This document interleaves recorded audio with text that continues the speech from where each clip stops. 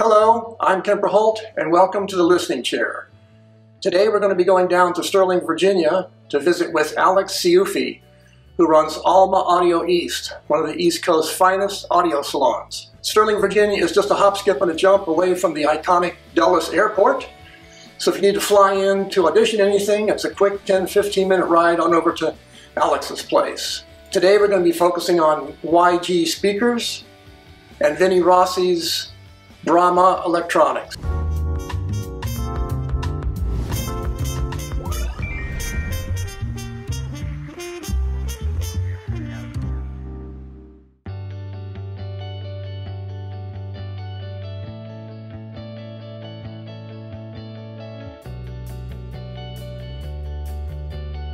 We are now in Alma's big listening room with Steve and Duncan from YG. Take it away, gentlemen.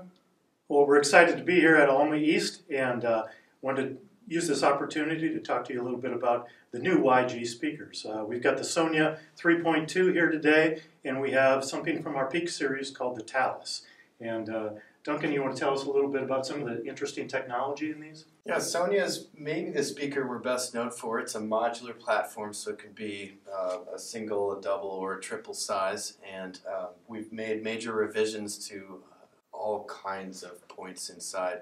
Um, major crossover changes, big baffle changes, and an upgrade to the uh, already high performance uh, tweeter that we use, a hybrid lattice tweeter that's a combination of hair thin aluminum uh, supported under a silk dome of a tweeter. So marrying the high frequency detail of uh, what aluminum can do with the natural sound of a silk tweeter. Right.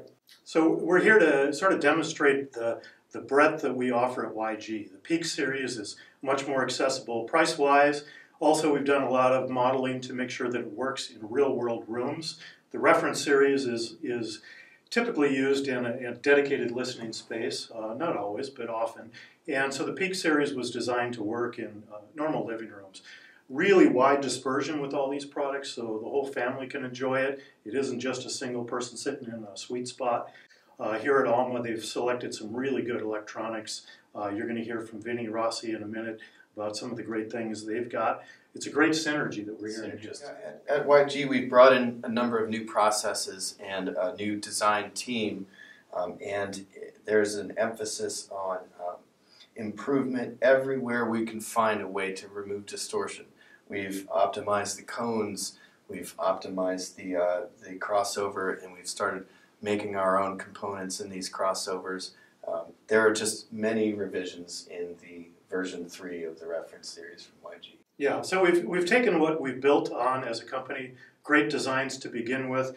Uh, these aluminum structures that we build have no parallel surfaces. It's the same thing with the Peaks cabinet designs. There's no parallel surfaces. So any way we can do something that's harder, we seem to find a way to do that. That's right. Uh, yeah. yeah. if it's the best way to do things. And so we do things like machine our own cones. We'll start with a billet of aluminum, machine those.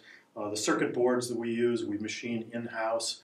All this cabinet work is done in-house. The front baffle, uh, all of that is, uh, even for the Peak series, is done in-house. Yeah, every inductor is hand wound, hand potted, and hand clamped to the already inert cabinet structure.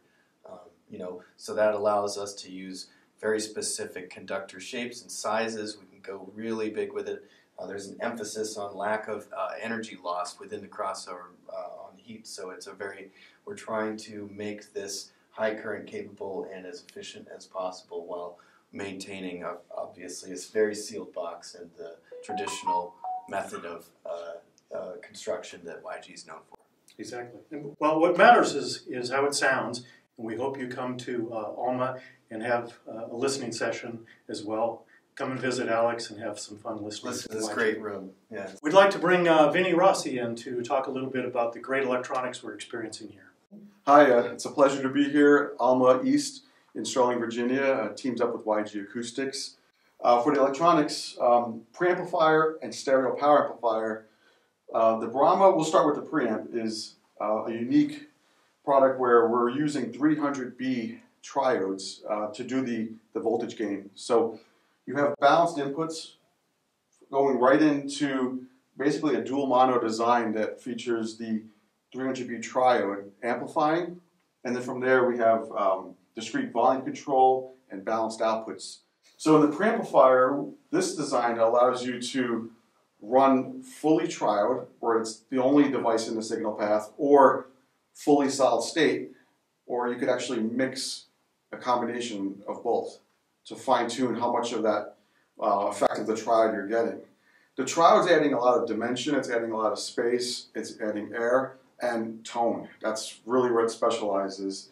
But if you wanted a more flatter sound without the, that extra uh, addition, you could pretty much dial back how much of that triode is used in 25% increments to fully solid state. Um, most of the time, I feel like the triode fully on is where it's at. We, we chose it for its linearity, for its you know fine detail and nuance, and its just awesome, strong sound that it gives, and it's exciting. And the Belleson regulators are specially designed for this, perhaps? Yeah, I worked with Brian Lowe from Belleson, and it came to him because I know he has the lowest noise regulators on the market. And I needed something that was going to work with this design. So we talked about how we could get that from a custom design. We call it the SPX VR, Vinnie Rossi. It's based on his XPX technology, but we have it set where um, the output of his regulator, the, the pass-through transistor, is separate. And it allows us to fine-tune where we position it, very close to the preamplifier boards, because we want a very uh, short signal path and power path. Because the 300Bs are so revealing that we needed to make sure that we could, you know, not pick up noise along the way and get all the benefit of those regulators and the 300Bs deliver. So the 300Bs, you don't see them sticking out it's because they're actually mounted internally to the preamplifier boards that are on the rear. Well, why are the preamplifier boards on the rear panels? Because the input and output jacks are attached to the preamplifier boards, as are the triodes connected to it. So you're talking a signal path of inches. And all the control of the volume is on each preamplifier board. There's a separate left and right um, step attenuation done. Control from the front, controlled by the remote, but the signal doesn't go there. This is just to control the switching of those relays that switch the resistances for the volume control. We have 100 dB steps. It's important to be able to you also fine tune the gain. That's you know the heart of the line stage. So you could do that in, um, from minus 12 dB to positive 12 dB, depending on your system. So low efficiency speakers or low output sources like phono stages tend to benefit from the extra gain in your system. So it gives you all that that uh, flexibility and control we're taking the outputs and feeding it into the Brama stereo power amplifier. It's a MOSFET based Class AB biased pretty heavily into Class A, featuring uh, 300 watts channel to 8 ohm. It's getting close to 600 into 4 ohm.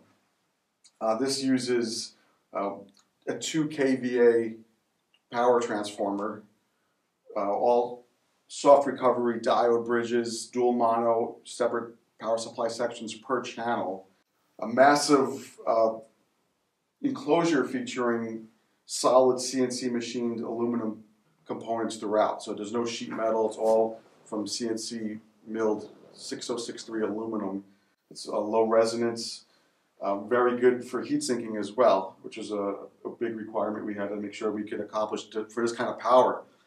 And another important feature that I wanted to make sure was maintained is the ability, even at high power, to get the subtlety and nuances in the music just right with it. And with speakers like these YG Sonja 3.2s, you hear it all. And Alex from Alma East set up a beautiful room here. I want Alex to be able to explain about how his storefront is. Uh, it's new in the area and it sounds phenomenal in here. Well, for for our listening rooms, um, we wanted to because we had to build them from scratch. So we hired the gentleman that actually does the acoustic panels for us, Nemesis diffusers. So this guy, very very smart guy. He basically worked with the dimensions we had and carved two listening rooms in our space, both here in Virginia and space in, in San Diego as well. So these were carefully made room within a room design with all of these things, the soffits, and I don't know if the camera's going to pick up, but the corners are rounded, so they effectively work as bass traps. And the effect we wanted to achieve is not to get an anechoic chamber or anything close to it, because we don't want to kill what these beautiful speakers are putting out. We want actually a measured way to control so whatever's in, whoever's in the listening seat gets the energy of the music, but without any extraneous resonance or boominess that rooms normally add, or glare. Glare is something that a lot of lively rooms add that actually doesn't contribute to the enjoyment of the music. So the idea here is the panels absorb and diffuse some, and then the room keeps its energy and the beauty of the music. So that's the idea. We have two listening rooms here. Uh, if you're ever in the Sterling, Virginia area, 15 minutes from Dulles Airport, please stop by and, and check check us out. Thank you.